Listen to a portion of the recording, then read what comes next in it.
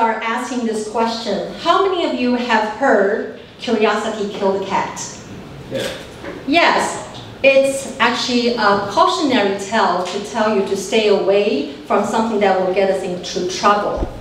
But how, but what if I told you that my curiosity didn't kill anything, but brought me life, growth, and development? Oh. Curiosity fills my courage, inspires me to step beyond my comfort zone, and pushes me to explore the world around me. I have always been searching the answer in all aspects of life. So let me take you back to a few years ago, just a few years ago, back to my last year of college. Two years ago, yeah, two. years ago I was in the moment actually in my life was everything seems good. I went to a well-regarded university and I was someone popular on campus, but I didn't know what I was going to do after graduation. So, um, my curiosity so led me to explore different religions and philosophies, seeking answers. I was asking the question, the big questions, what's the meaning of life as a human being? So that's why I went to religions and philosophies to find the answers. So at that time, I encountered, during that journey, I encountered the Bible in Matthew 7 7. Ask, it will be given to you. Seek, and you will find. In my last year of college, I found Jesus. My life changed. My curiosity led me to faith. I became even curious about learning Christianity. In my opinion, curiosity and courage are connected deeply together. When we feel curious, we are often compelled to explore, even when we are afraid. So, so it takes actually courage to follow our curiosity. Shortly after I graduated, I actually signed up for attending a summer program, five-week summer program in Valladolid, Spain, because I was curious about learning Spanish and Spanish culture, and also wanted to practice speaking English. It took me courage to ask my family for financial support, so they gradually, they generously lent me money, and I repaid, I paid back to them right away after I started working. When I was in Spain, I encountered, explored the vibrant culture, and I seized every opportunity to chat with the strangers. Even my Spanish wasn't that good.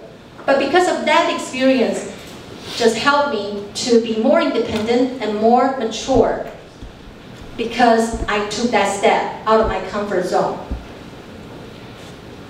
Another life-changing experience driven by courage and curiosity was my cross-cultural long-distance relationship, which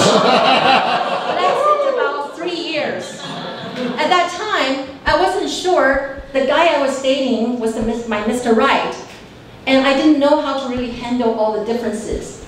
But then when he finally proposed me, I bravely said yes, because I was eager to explore what marriage life would be like. In my opinion, I think because I wanted to explore, my curiosity helped me to explore the differences between us. And I just want to say, the next week, we're actually going to celebrate 30 years anniversary. so for me, I think uh, Steve Jobs has a quote, stay hungry, stay curious. Stay hungry means that never getting satisfied with what you already know. And stay curious means that you always have the beginner's mindset. For me, because I have always been curious, even teaching students, I always find new ways to adapt to the challenges even in this digital world. So for me, this year, I also took a step because I've been curious about TGIF Toastmasters. So I finally joined Yay! personal commitment because I want to try to do every new things. I mean, do one new things in every year. So curiosity can really bring to the courage for us to explore the world. What I'm trying to say here, curiosity didn't really kill the cat.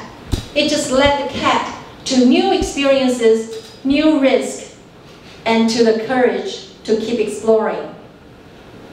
I want you to encourage you that when we feel mm, worried or nervous, think about your first love. Why really drive you here? Why do you want to do this? Because the curious about learning about the world, to explore the world. So I just want to encourage everyone here, stay hungry, stay curious, but most importantly, stay what? Curious and stay courageous. Back to TME.